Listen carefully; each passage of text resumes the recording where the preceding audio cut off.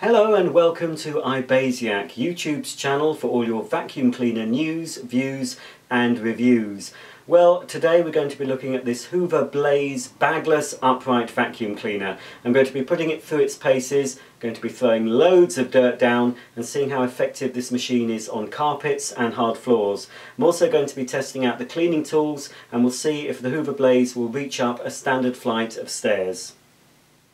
Before we get to the performance demonstrations, I thought I'd take you on a guided tour of the machine and point out the main features and functions of this Hoover Blaze bagless upright. This is the main cleaning head, the bit that does all the work on your carpets and hard floors. And you'll notice a dial here. This is your height control that raises or lowers the brush according to the height of carpet or the floor that you're cleaning. Now, according to the instruction book, Hoover suggests you use the machine on setting 1. This is with the brush at its lowest position. This will give you the best performance on low pile carpets and most hard floors. If however you've got delicate floors such as um, cushion vinyl, Hoover suggests using setting 2.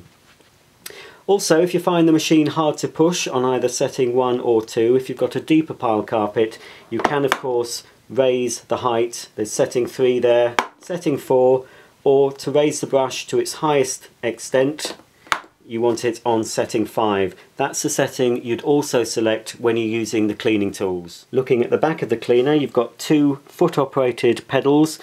This side releases the handle to the operating position and the other pedal turns the machine on and off. Moving further up the machine we have the onboard hose stored on the back of the cleaner. We also have this dual purpose nozzle. It's a brush nozzle and you can slide the brush off for doing your upholstery and curtains. You also have a long extension tube on the side of the machine and inside that tube you find an extra long crevice tool. The other cleaning tool you get supplied with standard on this particular model is the pet hair remover. This has a rotating brush underneath powered by the suction of the cleaner. This is ideal if you've got pet hairs you need to remove for your, from your stairs, furnishings or pet bedding. I'll be demonstrating this nozzle later on in the video. To remove the bagless container for emptying there is a little blue switch just positioned here. Now it's a little hard to access because of the storage of the turbo nozzle so if you find it easier remove the turbo nozzle and then of course you can see the button marked bin release. Just press that and then lift the bin away. Once you've taken your bin outside to empty you just need to push this little release lever at the bottom of the bin and all the dirt should fall out of the bottom. As with most bagless cleaners you do have to perform some simple maintenance tasks in order to keep the machine operating efficiently the Hoover Blaze has two filters that do require cleaning from time to time. The exhaust filter is located on the machine itself, just behind this silver grill. So you just remove that by pressing down on this catch. And then inside here you'll find a black filter. Rinse that under running water, let it dry, and then you can put it back in the machine. If you want it to dry a bit quicker, put it in between two towels, press it and then leave it in a warm place but not in any direct light, sunlight or over any direct heat source. Just let it dry naturally. Once it's dry you can put it back in the filter cage there and then it just pops back on the machine just like that. The other filter that will require cleaning from time to time is actually located in the dust container itself. To access the filter, if you notice on the back of the container we have a little symbol that says open and lock. Just turn the top of the container, the lid, to the open position and then you can remove the whole filter unit. At this stage you can give the bin a wipe out if you want to and then you'll see the pleated filter which you remove by twisting at the bottom. Now it's had some use this machine, not much, so there's a little bit of dirt already built up so you can give that a wipe over. There's a little sort of very coarse mesh filter. Give that a rinse underwater, leave it to dry, and then that can go back in there. And then you have this filter, again, a bit of dirt on it.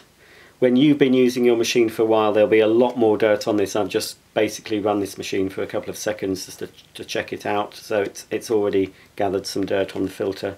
There's a mesh screen which does come away, a little bit stiff though because it's more or less a brand new unit. Let's just get that off. So you can clean that under running water and then leave that to dry and then the same goes for this HEPA pleated filter clean it under running water shake it vigorously and then leave it to dry for at least 24 hours you don't have to wash them every time but I do suggest every few bin emptyings you do take this filter out and you tap it on the side of say your dustbin to release any dust that's actually stuck to the filter when you've done all that you need to put the mesh screen back over the pleated HEPA filter. It's important you do that because the mesh screen does help stop some particles from adhering to the filter, mainly traps the likes of uh, dog hairs and fibres and things.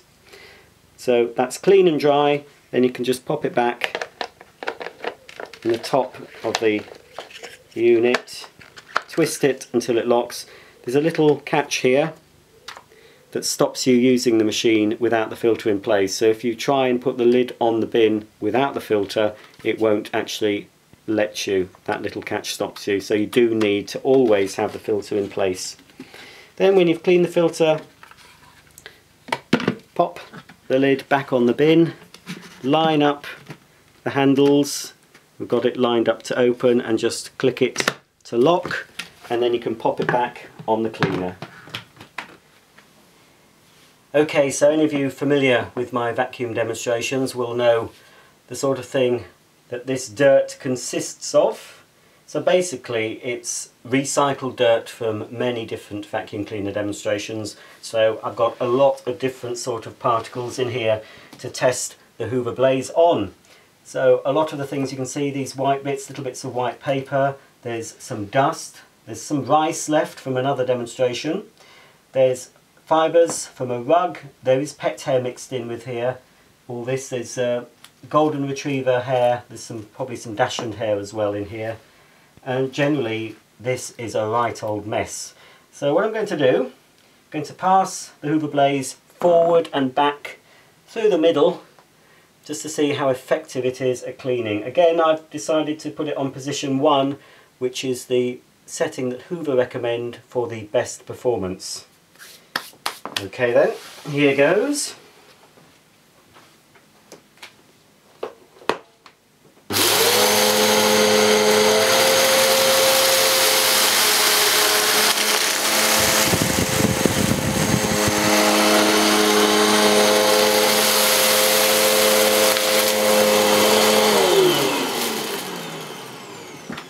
A bit noisy, but it's not done a bad job. Now Hoover are claiming an A rating for carpet cleaning performance on the energy label that's supplied with this machine but that is just for dust pickup. It doesn't obviously it has picked up all the dust in this but it has left a little line here which I like to call my line of shame.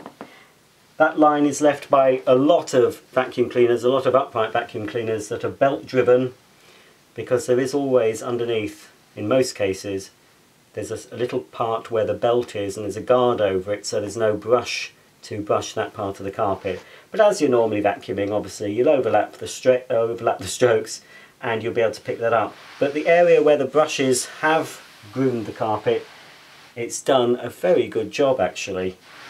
Not too bad at all. I did find it rather difficult. It was a bit hard to push on this. It's not, it is a fairly short pile carpet but I think to clean up the rest of this dirt I'm going to select setting 2. Obviously if you get this machine you'll find that various settings might work better for your particular carpets or flooring. Okay, well I've still got rather a lot of mess either side here so we'll see if the Hoover Blaze will manage to pick up the remaining dirt.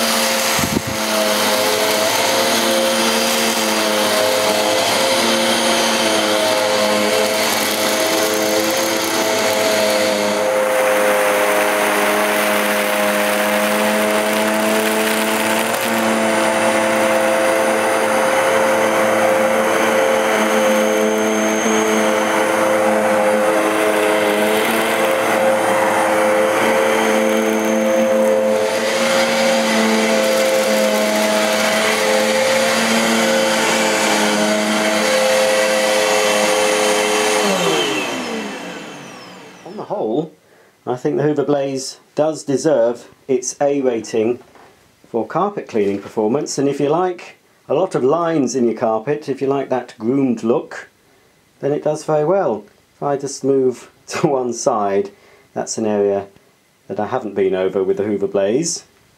This is the area that I have cleaned. Go as close as I can without it going out of focus. But yes, it does a, a good job. One proviso, I suggest you experiment with various settings. I did find setting one, the machine was a little bit hard to push on this particular carpet. So if you find that, I suggest you go up to setting 2, see how that is. If it's still hard to push on 2, then see what it's like on setting 3. Okay, well, I think it's A+. plus. My opinion, 5 out of 5 for carpet cleaning. Let's take the Hoover Blaze downstairs now and see how it deals with my kitchen floor. Okay, well I've come into the kitchen now and basically emptied some of the contents of the dirt bin back onto the floor and for this demonstration I'm not using on setting 1 the machine, I've decided to put it on setting 2 which Hoover recommend for delicate floor surfaces. Because of the two squeegees underneath the brushes hopefully won't be touching the floor because they can, especially with dirt like this, they could scratch the floor. So hopefully it won't snowplow all the dirt either. Now I'm not a fan of using uprights on hard floors, I'd rather use a cylinder vacuum cleaner or even a broom than an upright with a revolving brush. If you've got an upright where you can turn the brush off, that's a little bit better, but you still can risk scratching delicate floor surfaces. Anyway, I've got it on setting 2. It will be much louder, I think, in the kitchen because there's less soft furnishings to absorb the noise. Incidentally, Hoover claim this is an 89 decibel noise level, which sounds a lot, but in use, certainly on carpets, it doesn't sound too bad, but I think on this kitchen floor it might sound quite loud. So here we go. Forward and back through the middle of this dirt.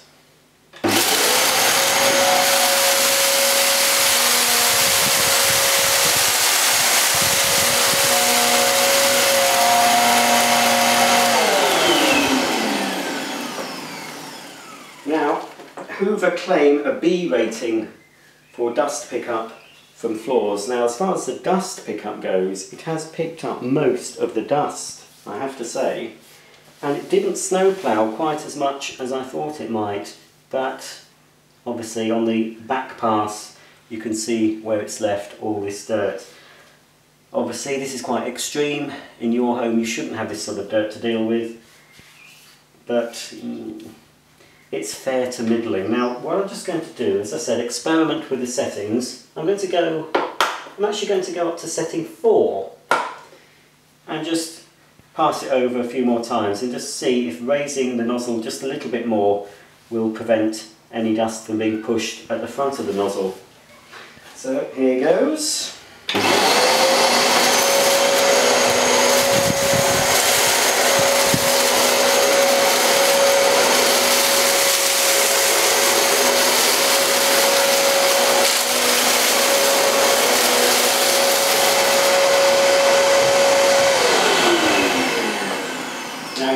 able to hear that, or even see it. Oh, it's not scratched it. Now I'm not going to continue using this upright on this floor. It hasn't scratched it, but it will rub out. It's a, it's it's um, Contico, I think they call it. This floor. It's a very robust floor. This they use it in contract situations. So it's not what I would call a delicate floor surface, but I just can't stand that scraping, scratching noise you get when you're using this sort of vacuum on a hard floor and I'm not going to continue to pick up the rest of this using the Hoover Blaze. I'm going to get a cylinder vacuum out to clean this up after the demonstration. So four floors, as I say, Hoover rated a B for dust pickup on hard floors and I suppose if I was just to put dust down on the floor it would earn that rating in my eyes but of course you don't just drop dust onto your floors, do you? Okay, so we've seen the performance on hard floors and carpets. Now I'm going to go up the stairs and see if the Hoover Blaze will reach up a standard flight of 13 steps. Now, if we look at this symbol on the cleaning head of the Hoover Blaze, it is claiming 13 full stair cleaning. So obviously I don't take any notice of claims. I won't believe them until I've tested them for myself. So we'll see if the hose does indeed stretch up 13 steps. As you can see, the long hose is stored on the machine, but it's not actually used when the machine's in upright mode. No dirt passes through the hose because it's not actually connected to the machine. You do need to connect it yourself, so you have to remove it from the storage area, like that. And then, if you look at the side here, there's a shorter hose. Now you need to remove that short hose by squeezing these two tabs here like this and then the hose just drops down so you just leave it like that and then in place of the short hose you need to fix the longer hose and it just clips into place just like that. So once you have the hose connected to the machine you've got the free end here to enable you to attach any of the accessories that you want to use. So you can attach them directly to the end of the hose like this so we've got the extra long crevice tool, useful for doing down the sides of the stairs or down the side of your sofa, in your car, etc. You can attach the extension wand if you don't want to bend down or you want to reach up somewhere high. And onto the end of the extension wand you can attach any of the nozzles, whether it be the two-in-one dusting tool, the crevice tool, or the pet hair remover. Now I prefer not to use an extension wand when I'm cleaning stairs. So to see if the machine will reach, I'm not using the extension wand. I'm going to put the pet hair remover directly onto the end of the hose and then I'm going to stretch right up to the top of the stairs and see how effectively I can clean with the machine at the bottom of the stairs. So with the Hoover Blaze safely at the bottom of the stairs, I'm just going to go up and see how far I can get without having to tug on the hose.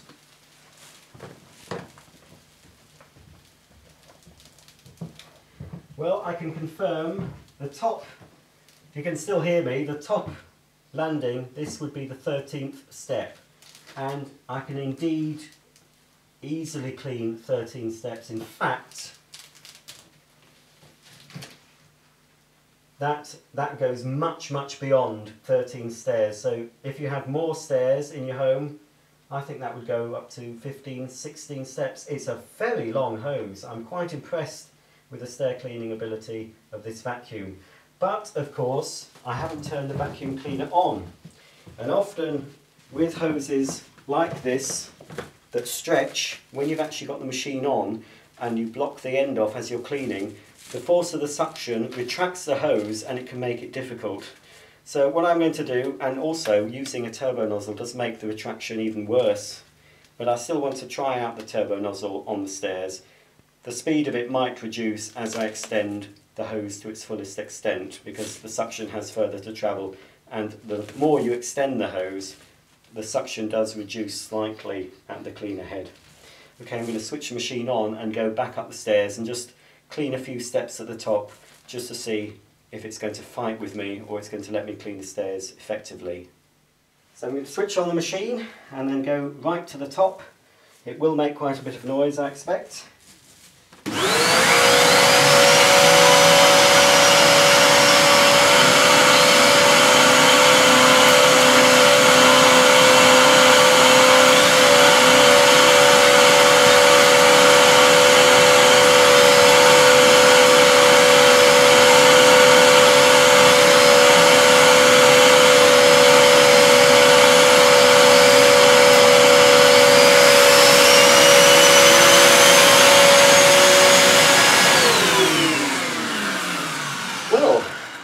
actually pretty impressed with that. I was able to clean right at the top. It wasn't pulling back on the hose. The turbo brush was still rotating at a fast speed and it was doing, doing a good job. So all in all, I think for stair cleaning, this is a very good machine to go for. That just about concludes my demonstration and review of the Hoover Blaze Bagless Upright Vacuum Cleaner. My conclusions, is it a thumbs up or is it a thumbs down? Well, I think in this instance, for the price, it's a thumbs up. It's a good value cleaner, providing you buy this machine for around 70 80 pounds I would class it as good value. Anything over 100 then I would probably consider going for another machine. It excels at general carpet cleaning, does get an A rating and it does a very good job of grooming the pile as I said in the review, you do need to experiment with the settings to find one that suits you, gives you the best performance and it also makes it easier to push. But at least you have the option of being able to change the height. Some vacuum cleaners, they have a floating head and you're stuck with it, so you can't raise it if you need to clean lightweight rugs or deep pile carpets.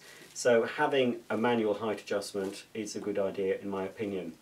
It's fair on hard floors, it didn't do very well on the dirt I put down, but for general dust and debris on a hard floor, it'll be okay. But as I said, I don't particularly like using an upright on a hard floor. Better just to sweep it or use, if you have a cylinder cleaner, use that on your hard floors. It's very good on stairs, despite the fact you do have to attach the hose. It's not permanently attached, you do have to unclip the small hose and attach this longer hose. But it does a very good job and it's a very, very long. It's one of the longest stair cleaning hoses I've seen. Some do claim 13 stair clean, but I find you're sort of struggling towards the top of the staircase. This one, there was no struggling to get to the top, and there was plenty of hose left to spare. So this is a, a definite plus point. And also the pet hair remover worked well even when the hose was extended right to the top. So all in all, it's a good value basic upright vacuum cleaner. Just has a year's guarantee, so be aware of that. One thing also be aware of is the filter maintenance.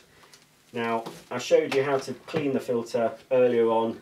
I don't want to open it now because that filter will be quite dirty. No, I will. I will for the sake of consumer journalism. Well, it's not quite as bad as I was expecting it to be.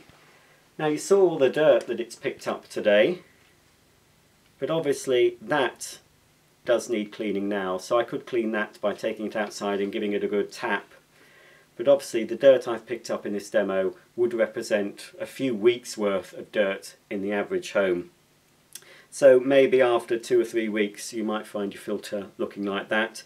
Don't leave it do these steps I've shown you how to do them, just take the filter off, tap it at least. If you don't want to wash it, and I don't recommend washing it too often, obviously you still have to wait for it to dry, it's a bit inconvenient, but at least remove the filter, give it a good tap outside, get as much of the dust off, and then put it back in the machine. If you keep the filter clean, the machine will be able to breathe, the airflow will go through, you won't have any overheating, and the machine will last longer. A lot of vacuum cleaners fail because people do not maintain the filter. If you want to spend more money, if you have, if you definitely want bagless, and you need, you have a little bit more money to spend, I suggest looking at a multi-cyclonic vacuum. In general, they tend to keep the filters much cleaner for longer, especially if you go at the higher end. If you go for a Dyson, then they are the best at filtering out the dirt before they get to the filter. But there are some very good machines from Vax and Hoover, slightly up the range, do some good machines as well with multi-cyclonic filtration. So, apart from the maintenance, apart from the fairly mediocre hard floor cleaning, it's not too noisy, it's quite lightweight, and if your main concern is carpet cleaning, sorry about that, get back into shot. If your main concern is carpet cleaning, pet hair removal, then it's one I would consider. But if you can try it out in the shop, you know, you can have a go with it in the shop, all the best. If you can't, then you'll just have to take my word for it, I'm afraid. But I think pick it up for about £70, it's good value.